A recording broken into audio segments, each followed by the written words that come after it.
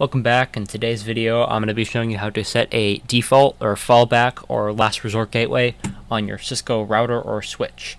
Uh, I'm not going to go into detail explaining what exactly a last resort or default or fallback gateway is. Um, um, there's mo more videos on that. You can read uh, CCNA forums for that. I'll link something down below. I'm just going to be showing you how to uh, set it for your Cisco router or switch because it is the exact same command for both. Uh, so we're going to console into the switch. This is a 2960. Uh, pretty soon I'll actually be using this switch next to me for my uh, CCNA tutorials, but for now we'll just be using newest packet tracer. We're going to go into our switch. We're going to do enable. Uh, we're going to do Now we're going to do IP default gateway, uh, and now your default gateway should be the first seven octets and ending in 1,